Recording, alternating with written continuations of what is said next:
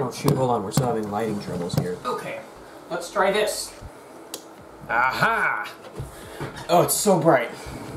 So as of recently, I received a message from Isaac saying that L8N Studios will be turning two years old, which is interesting. So a while ago, I made a video saying I made video. I've been making videos for a whole year, but it's been two years now since I decided, you know what, I want to make a channel called L8N Studios. So if you look on my channel, on the About page, it says it joined August 6th, 2020. So that means it's been two years now that I decided that I want to do this as a hobby. I've been slowly, slowly, slowly growing since. Even though it's only 500 subscribers, it's still crazy to me that I've achieved such a goal, which is, um, and that's super cool to think about, especially since like right after that I met David, who has been making videos with me for the longest time now. It's crazy too to think that like during that time I wanted to be just like Jay Stu, and now I'm learning from Andrew Seitz, from more Jay Stu, I have a goal that I want to set now for L8N Studios. I, have I've been thinking about this a lot, and I just want to,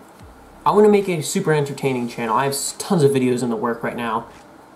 I, I just want to think about what am I going to do on this channel? What am I, what am I going to do with L8N Studios?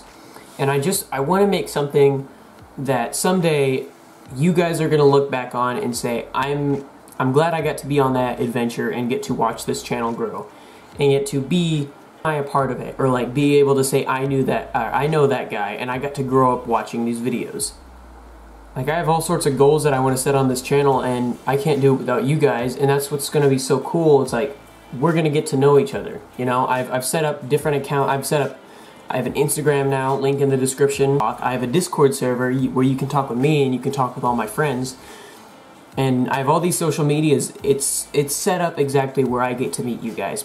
So uh, I just wanted to make this video as a quick thank you for all the support. You guys are fantastic, and uh, I I wouldn't be able to do it without you guys. So thank you for being awesome, and please continue to be awesome.